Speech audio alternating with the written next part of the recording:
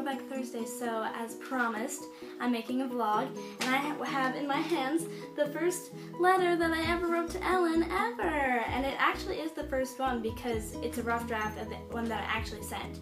And I only saved like 12 rough copies and I was like, ugh, bump this noise. I'm not doing rough copies anymore. I'm just gonna start freehanding them and scratch out little mistakes. And when I make a big mistake, I'll just write the whole page over again. I only have 12 copies of my 366 letters.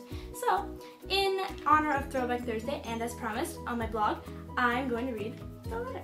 I haven't read this prior to this making this video, so it could be very embarrassing, and I'm prepared for that. Tuesday, February 14th, 2012. Hey Ellen, it's Valentine's Day. I hope you and Portia had a great one. I had my single friends over tonight and we all watched The Notebook and cried our eyes out. Isn't Ryan Gosling such a god? Yum. I don't know why Ellen care about that, but... So, watching The Notebook gave me this idea. I will write you one letter every day for a year in hopes that you will one day read at least one of them so you know how much I admire you. What you do every day inspires me to learn and grow and to try to make life around me sparkle as much as you do. Good line, Alyssa. This might sound a little creepy since I know so much about you, but you know so little about me. So here's a little recap of myself. And I went on to say who I was and where my high school was and where my hometown is, and it's blah blah blah. My friends say I'm crazy, wild, enthusiastic, and optimistic about life. My dream is to meet you one day. I'm a huge Taylor Swift fan. I used to be. Uh, my favorite color is pink. I have a bucket. Oh, now it's purple. Actually, that's fun. I have a bucket list of 35 items to cross off. Now it's like 77.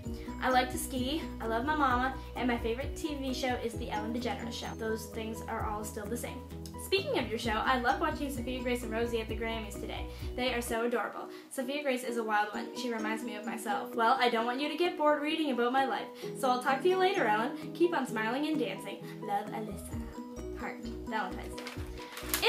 Cute? I'm adorable. And then there were 366 letters similar to this. I like it. I think I did a good job. It's short and simple, to the point, gives Ellen some background, also shows a little bit of personality. It's funny to, to have a throwback and see how much your life's changed.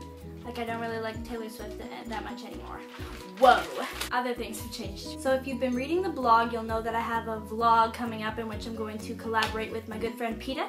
She's in Australia and we're going to do a little bit of a lot of things for my channel and for her channel, so stay tuned for that. There will be more vlogs coming and if you haven't checked, no, there will be more vlogs coming and if you haven't checked the blog, you can do that too. I know it's confusing, vlog and blog, but stay with me please. So there you go, Ellen, a little throwback to over two years ago where I first began this mission. So keep on smiling and dancing. Bye.